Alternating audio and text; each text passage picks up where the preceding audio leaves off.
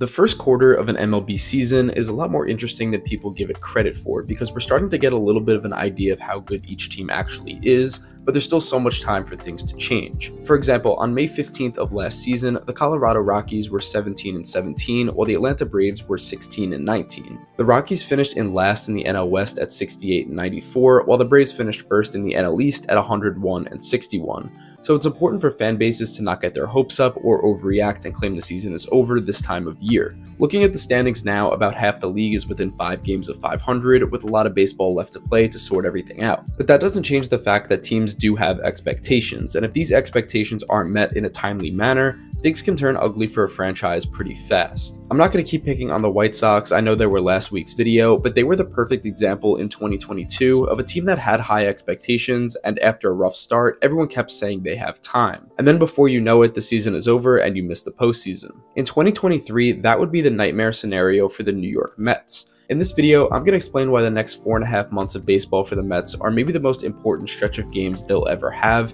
and how the rest of this season will make or break the future of their franchise. Before I get into it, welcome to the War Room, a channel where I discuss all things sports related. I'm going to be making MLB content like this all season long, so subscribe to the channel if you're new, and let's get straight to it. First, we have to break down how the Mets put themselves in this position and why expectations for them were through the roof heading into the year. Going all the way back to 2015, where the Mets won the NL East, putting them in the postseason for the first time since 2006. They beat the favored Dodgers in the NLDS and swept the wildcard winning Cubs in the NLCS to make their first World Series since 2000, but they ended up losing to the Royals in five games. While the Mets were talented this year, they overachieved, and it was surprising they made it as far as they did. But if you're a few games away from winning a World Series when it's your first time in the postseason in almost a decade, many people will consider that a successful season. But unfortunately for Mets fans, this was a success that the franchise never came close to repeating. In 2016, they were slightly worse in the regular season and got bounced in the NL wildcard game. Then they pretty much just became the same old Mets everyone was used to seeing prior to their 2015 fluke. It was clear that if a franchise wanted to field a talented team that actually gave them a real shot at contention year after year, something needed to change, and all signs pointed to the front office.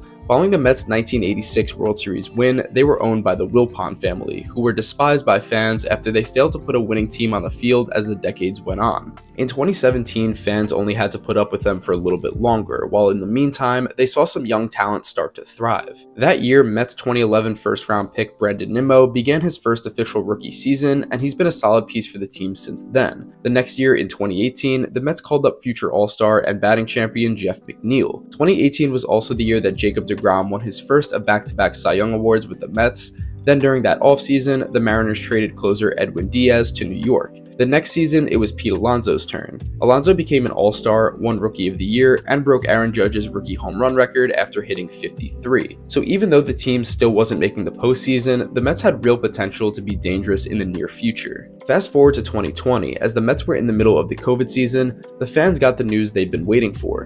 Billionaire hedge fund manager and lifelong Mets fan Steve Cohen bought the team from the Wilpons and now owns about 97% of the franchise. The Mets now have the richest owner by far in the entire league, who made it a point that he does not care how much money he needs to spend as long as it means winning baseball. A few months later, the Mets made one of the biggest acquisitions in franchise history when they landed four time All Star shortstop Francisco Lindor from the Cleveland Indians. Overall, 2021 still was not a great year for the team, so Cohen decided to try even harder. During the 2021 offseason, Billy Eppler was hired as the new general manager of the Mets. Less than two weeks later, they signed three time Cy Young winner, eight time All Star, and future Hall of Fame pitcher Max Scherzer to a three year, $130 million contract, and All Star outfielder Starling Marte to a four-year deal worth $78 million. The amount of star power the Mets were getting from these signings is something that would have taken the Wilpons two decades to do, and it only took Steve Cohen two years. With Alonso, McNeil, Nimmo, Marte, and Lindor as the core of this lineup, DeGrom and Scherzer as the best one-two punch in baseball, and Edwin Diaz as the team's closer, it was time for the 2022 season. From the very beginning, this looked like it was the year fans expected to have once Cohen took over. Everything was going the Mets' way. They were completely dominating the NL East, and on July 1st, they had a 10.5 game lead over the second place Atlanta Braves. It was clear this team was going to make the postseason, the question was how far could they go? But there was one problem. Remember at the beginning of the video when I talked about how the Braves had a bad start and then they finished with a great record?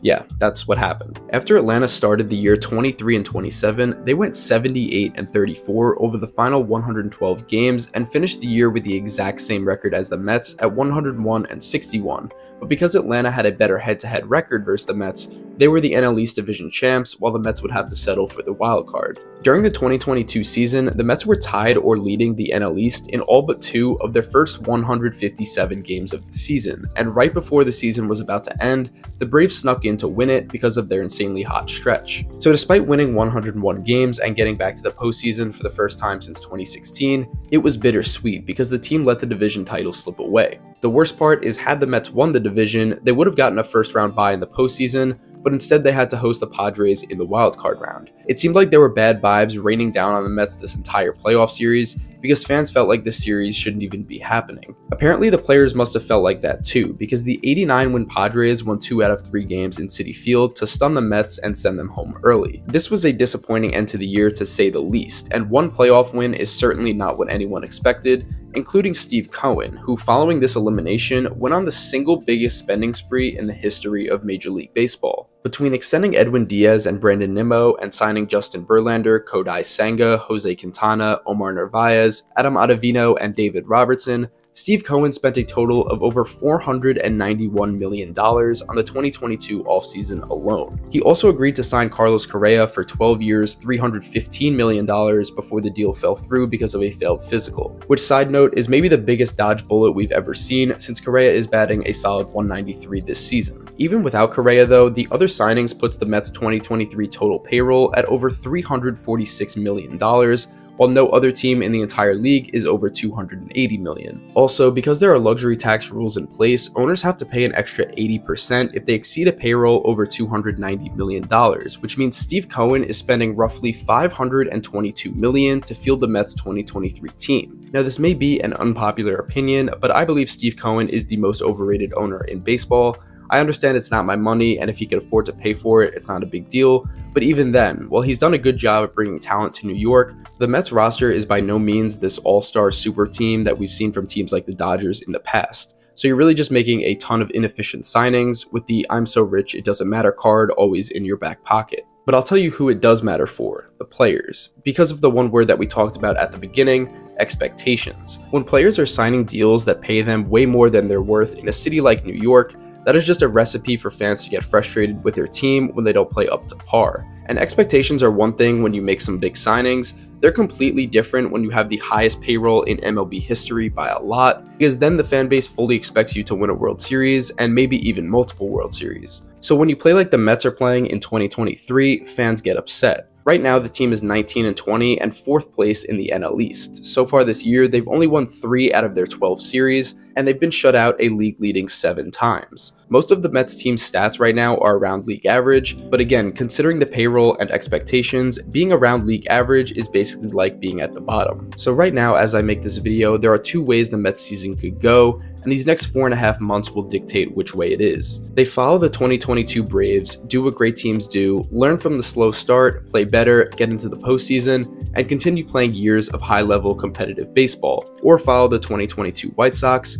who keep saying they have all the time in the world, don't actually do anything to fix the problems, and waste an entire season of not living up to the team's full potential, then have disinterested players who want to go elsewhere. In other words, the rest of the 2023 season will make or break the New York Mets franchise for the next 5 to 10 years. Because if they fail miserably, where do they go from here? You have the manager, the GM, the fans, and the talent, so does Steve Cohen just keep throwing more money at problems? What is there actually to change? There's too many unanswered questions that will only lead to more dysfunction with the franchise. But if you win, then that takes a tremendous amount of pressure off of everyone. Cohen can continue to do what he does with no questions asked, and free agents know that not only will the Mets pay them a lot, but they can actually win on the field as well. I personally think the Mets are too talented to not figure it out. I think they can still play postseason baseball this year, and it really just comes down to playing better. But which path do you think the Mets will go down? Let me know in the comments below. I'm always curious to see what you guys have to say. Like the video if you enjoyed, and subscribe to the channel if you're new. Thank you for watching, and as always, I'll see you guys in the next one.